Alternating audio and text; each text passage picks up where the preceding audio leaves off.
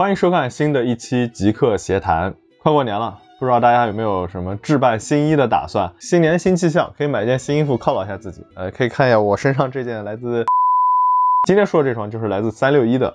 狂飙，先说一说鞋盒，就整个平面的这些设计让我有些恍惚，这还是二零二二年出的鞋款吗？鞋盒上面非常简单，一个狂飙和 manners，它的意思呢，名词来说就是威胁或者是威胁的人或事。狂飙是变形金刚里面的反派人物，它其实是属于狂派霸天虎的成员。整个鞋盒表面的这种设计或者说概念也是有一点致敬的感觉，希望你穿上这双鞋之后，能够在球场上变成一个对对手有威胁的人。那说到这双鞋。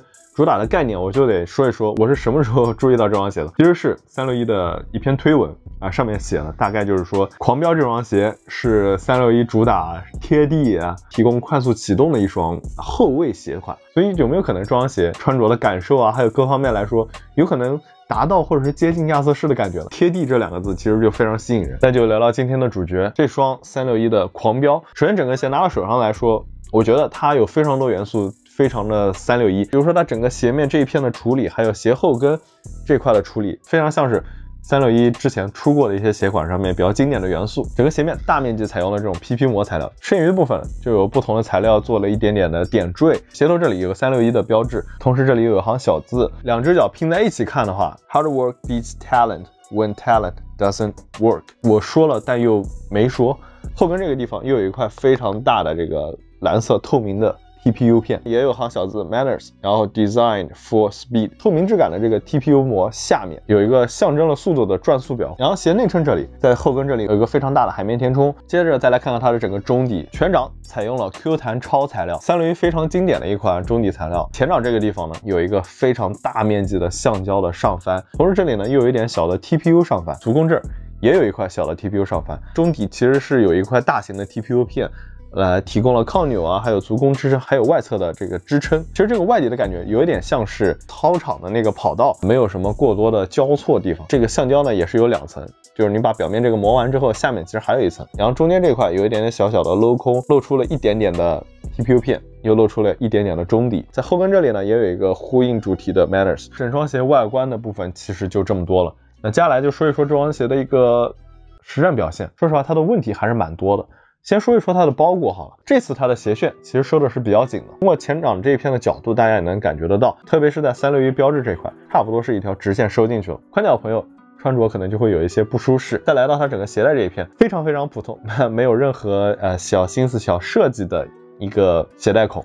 并且这些鞋带孔之间的间隔其实是比较短的，是不是可以把最前端的这个再往前提一点？因为前面这片空间有点长了，最后面这三个连着的鞋带孔能不能再往后移一点呢？这双鞋它也掉跟，这双鞋掉后跟的情况，其实我觉得很大一部分原因就是。要归结于鞋带孔有点太靠前了，再加上它又是一个比较低帮的设计，后跟这块非常肿、非常大的这块材料呢，整体的角度其实比较竖直的。即使它在里面这一片加了一个大块海绵填充，它加海绵其实就是一个心虚的表现。没有出现掉跟情况的鞋呢，后跟的这个海绵填充有的时候基本上就没有。就是非常普通的一个内衬，所以这双鞋在我第一天穿着的时候，我觉得它掉跟情况非常非常严重。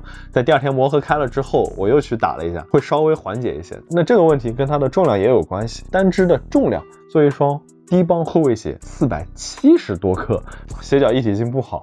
再加上它重量很高，就会导致这双鞋不太好穿。还有一点呢，因为它是后卫鞋款，整双鞋给你那种感觉就是你可以放肆的去做动作。但是它选的这个 PP 膜材料，那它和脚面贴合的程度就会比较低，在你往前蹬地的时候就会出现这个画面。以我正常的脚背高度来说，它没有非常强的压迫感。那这个鞋面有没有好处呢？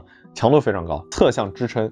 是非常稳定的正侧方的一个移动，首先是它鞋面强度够高，再加上它正侧方这个地方有个非常大的凸起，可以给这双鞋提供一个非常强力的侧面支撑。同样，这个大的突出还提供了一定的防侧翻能力，这个脚的支撑力是非常非常够的。当然，也外加上面还有一层 TPU 片，还有很多材料给你做一个支撑，正侧方的支撑是非常 OK 的。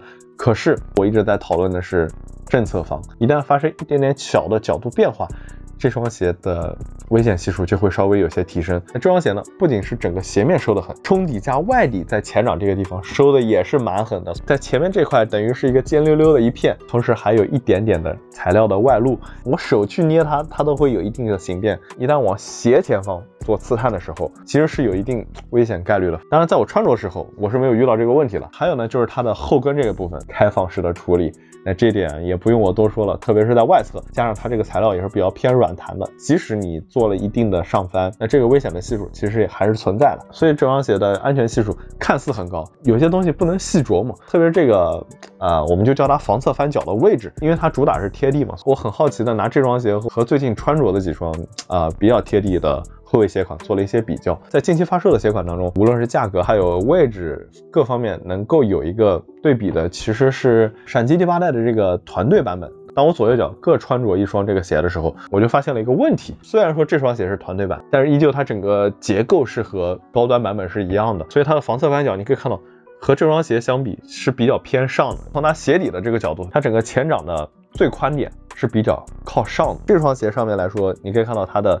最宽的点其实是比较偏厚的。说实话，在我打了两天过程中，这双鞋在场上表现其实是蛮 OK 的，并没有特别危险的情况。那之所以会这样，也是跟我的打法有关系。那穿上这双鞋之后，说实话，并没有感觉到贴地狂飙啦、弹射起步的感觉，没有一点点都没有。如果说是专门为后卫打造的话，内侧的橡胶没有上翻啊。外掌的设计，单看其实觉得设计感蛮强的，对吧？但它的本质其实就是一个个线条而已，就非常非常简单的。在我打的这一小段时间里面，它已经出现了一些些。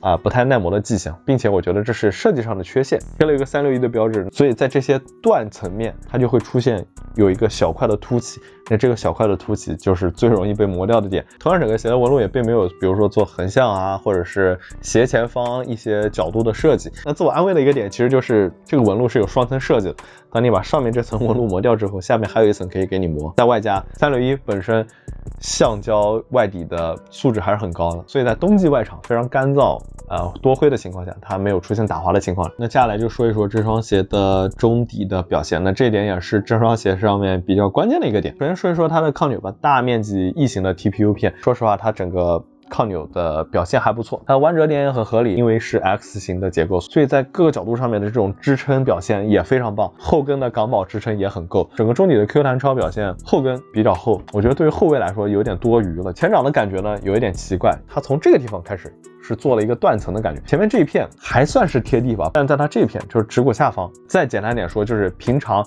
耐克会放 Zoom 气垫的地方，整个脚。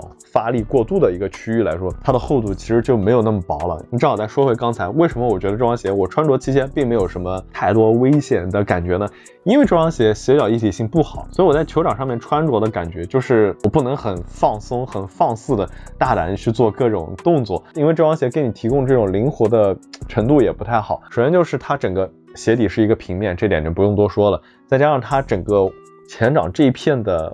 我觉得设计的逻辑稍微有一些问题。如果你要是专门为后卫打造，你要牺牲掉整个防侧翻的表现，我觉得是 OK 的。你可以把这个小疙瘩，你可以取消掉。虽然很容易侧翻，但同时它的灵活度也变得非常高。但是你在前掌这片收的这么狠，看似增加了一些灵活度，但是又在这个地方增加了一个非常突兀的小疙瘩，那你在球场的灵活度又下降了。所以整个穿着的感受，说实话有一点点难受啊。那我说的这些点，其实就是我在这半年当中穿着一些非常贴地或者是脚鞋脚一体。非常高的鞋款得出来的一个小的总结。那这些鞋款有亚瑟士的胶 hoop 的低帮，学名叫 Glide Nova Flat Foam 第二代，这是我整个暑假在上海穿着次数最多的鞋款。闪击第八代的团队款，其实这双鞋买来的目的，本以为是它能够解决闪击的正代上面后跟不稳定的情况，呃，也没有非常完美的解决，但是依旧是一双非常顶级且它的性价比啊、重量各方面都非常优秀的一双鞋款。其实单以这三双鞋来比的话，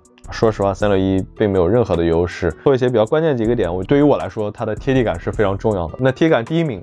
肯定是亚瑟士，基本上穿过人都知道。那排在后面的就是这双八代的团队款，并且在内侧有个合理的开槽，前掌就是 Light Foam，和这双鞋一样，它们材料选的都是比较普通的硬质 EVA。其次呢，就是这双三六一的鞋子，单从内侧的这个比较，大家也能看得出来，这些材料的厚度。